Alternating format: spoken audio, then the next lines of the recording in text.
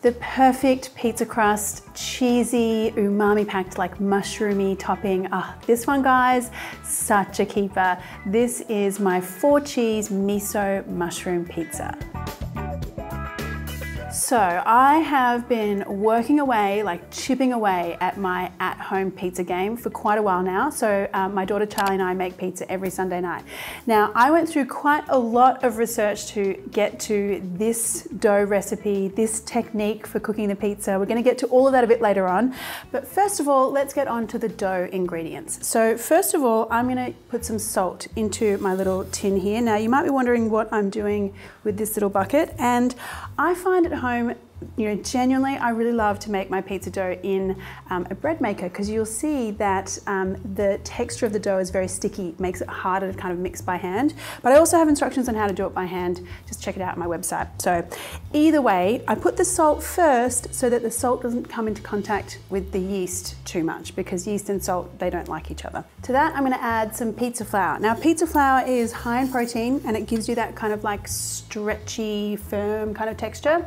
To that, I'm gonna add some plain flour. I like to do a mix, not everyone does, um, and actually this recipe is based off um, one of my favorite pizzerias in the world, which is Roberta's Pizza in Brooklyn in, um, in the US. So uh, they use a mixture of both of those flours, so that's where I kind of started with at home with my pizza journey, if you like. Um, pizza's such a journey, isn't it, Dax? It's a real journey. it's like in reality shows they always describe things as a journey, and then every time I say it, I'm like, ooh. Um, anyway, in my journey, in my pizza experimentation, that's I don't know. There's no other word for it. Whatever, it's a journey. And I'm going to add in some yeast as well. Now let's go with the wet ingredients. So just some water. And obviously the ratios for this, the measurements will be all on my website in a written recipe that you can go check out. Um, to that, I'm gonna add some olive oil, and then this just literally gets mixed up. If you were doing this by hand, you're probably gonna be mixing for about five or 10 minutes or so. I'm gonna put it on the knead setting here for about 10 minutes.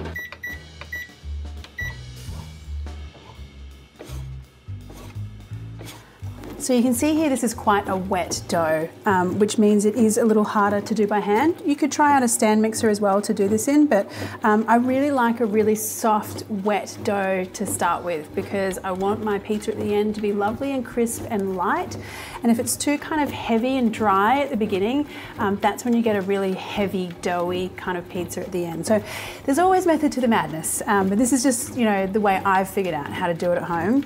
Um, now this is looking pretty good. So so I'm gonna grab this and you can see we've got a lovely kind of sticky dough here ready to go. I'm gonna put this aside to prove for 20 minutes. Um, you can just do it with a tea towel over it. I'm gonna pop it back in the bread maker. Okay, so now you have a little bit more of a cohesive dough. It's still kind of wet and lumpy. That's okay. We're gonna fix that now. Um, this needs to go uh, for another kind of round of kneading now, and that's when things will start to look a little bit more pizza dough-y. Pizza doughy. It's a, it's a term, I'm sure of it. Anyway, pop this back in for kneading and then let's give it 10 minutes.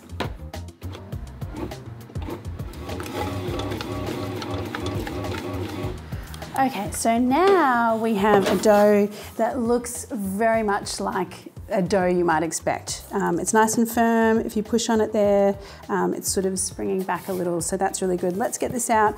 Um, I just need a little bit of flour first of all and then just encourage the dough to come out. Now just kind of like roll that dough into a little bit of a log, just makes it easier to you know divide it up. Now this amount of dough is going to make six small pizzas. Um, you could just divide it into four if you wanted larger pizzas. You want to grab a hold of one of your um, bits of dough and then just kind of squish this around. What you're trying to do is like make this taut, um, very tight surface area on the top of the, the ball. And then once you get to this point, just kind of use your the bottom or the palms of your hands to roll the dough together so that on the bottom here, you're kind of getting a flat surface. So you just, the aim is to make one round dough ball without any seams. So that's what we're trying to do here. Now just sort of roll that dough around and then pop it onto a tray with some flour.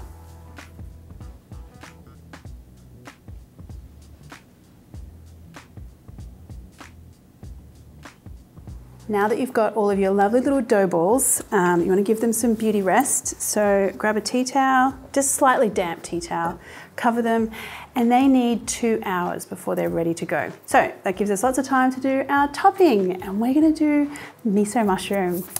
Now I have this lovely array of mushrooms here. You can use whatever mushrooms are um, local in your area. I've got some button mushrooms, Swiss browns, some wild oyster mushrooms, which are really lovely.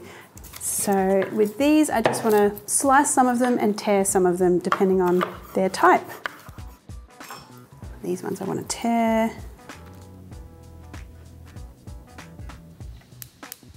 To cook the mushrooms, just need a little bit of olive oil, some butter, and now just throw like your more sturdy mushrooms in first. So I'm going to go in with my button mushrooms and my Swiss browns. Add a good pinch of salt. And I just want to let these guys sit and get some really nice colour on them because I find if you kind of mess around with the mushrooms too much, they kind of get a bit slimy and soggy. So I just want lovely brown golden mushrooms. These guys are looking pretty good. Just give them a bit of a stir. Now mushrooms are getting a really nice deep golden color on them and that means they're also developing a lot of really great flavor as well. So when they kind of wilt uh, and get soggy, I find that the flavor is not as intense. So you definitely want this kind of business going on. Wow, that color is really intensified now. That's really great. Now I'm gonna add in some garlic and I didn't do that to start with because I didn't want the garlic to burn while I was waiting for the mushrooms to color.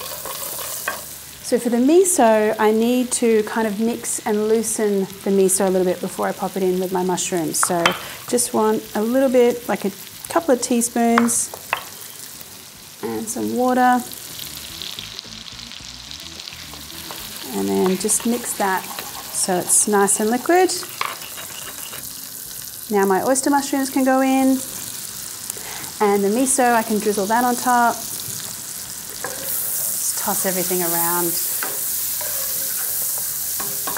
Now that is a really great mushroom mix. Lovely dark colour. Nothing is looking watery or soggy. That looks really great. Lastly, I'm just going to add a little sprinkling of parsley. And that is our mushroom mix done. Now about an hour before you want to shape and cook your pizzas, we're going to get down to a really sort of fine art of preparing the oven for the pizza. Now my really good friend um, Vincenzo had this technique on his channel. I actually really love his pizza techniques on his channel and um, I've watched a lot of them. This one is so good because it literally turns your home oven into like a wood fire pizza oven. It's pretty cool, game changing. Okay, so what you need is a pizza stone. I've got one here. You can tell it's well loved. it's, I mean, it's not Instagram worthy, but you know, it's my pizza stone from home. So take your pizza stone and then um, with your oven, you want to turn it up as high as it'll go, like 250 if you can, Celsius. Pop your pizza stone in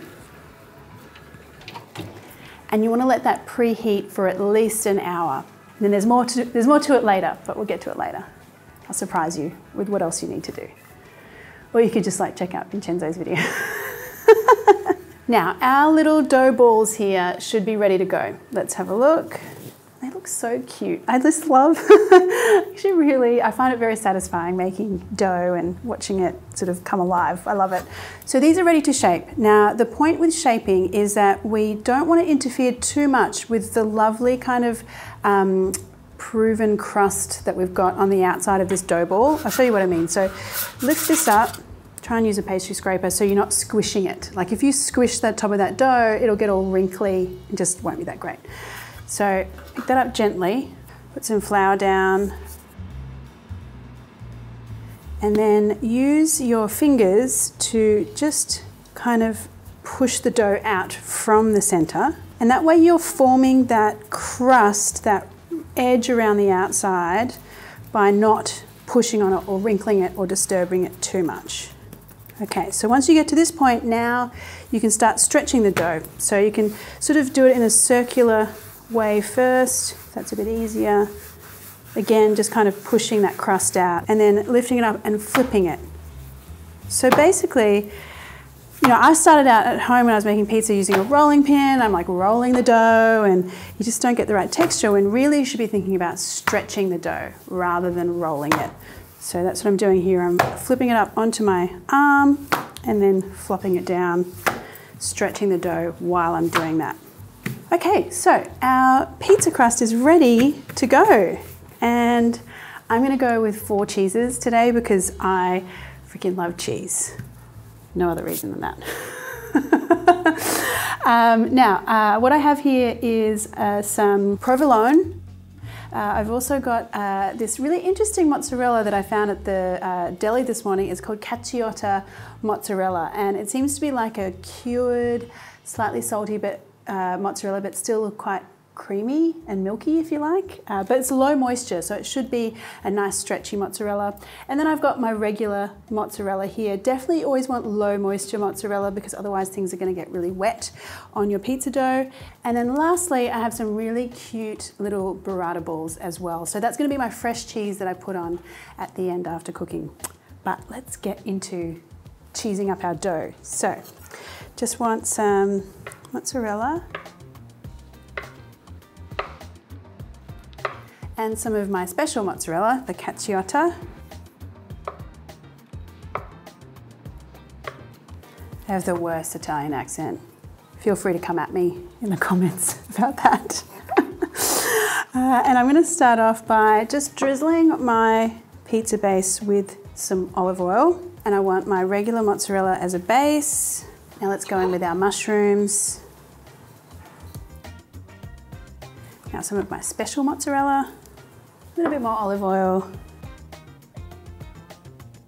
Nice fine grating of my provolone.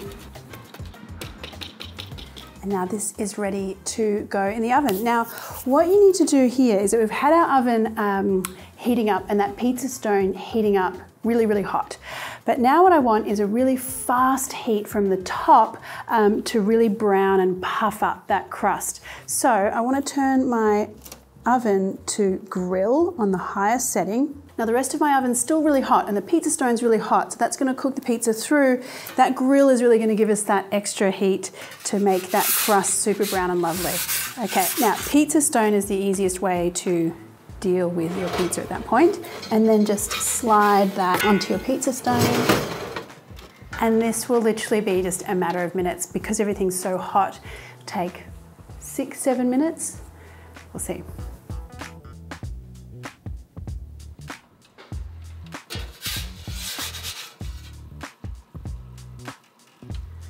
Now at this point, you should be saying, wow, look what I made.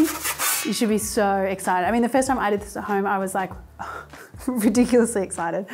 So look at that. I mean, you've got that really lovely crust. It's sort of looking a little bit burnished on the edges, that, that lovely kind of char from that intense heat. Oh, so good. Now, we're four cheeses here. So I gotta go in with my burrata. Just going to break off little pieces. Parsley, and then some other little extra bits here, just some lemon zest. And here's a little optional extra, Japanese yuzu kosho. It's a citrus and chili paste that's gonna add lots of little pops of yum to the top of my pizza. But you don't have to put it on if you don't want to. And there you go. I mean, I think to be able to make pizza at home just like that is really cool. I have been working on this like dough recipe and the technique for cooking pizza like this for ages, so I'm really happy that I can share it with you guys. Let's eat some pizza, shall we? Oh, look at that cheese. I mean, oh, so good. And if you have a look in the, on the side here, you can see just how much lovely kind of puff that we've got um, on the inside there, just below the crust. So cool, that little bubble. Mean, that's just what you want. Okay, let's eat some pizza. Mm. Ah, that is so good. Ah, like the intense mushroom flavor is so awesome. The, the four cheeses are killing me though. I mean, they're just, ah, they're so good.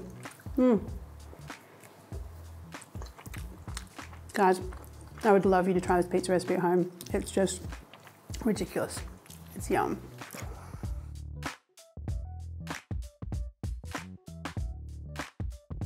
Hey guys, if you want to know whenever I'm releasing something new and delicious, then you should hit that subscribe button and the little bell so that I can let you know every time something new is coming out. Thanks, see you!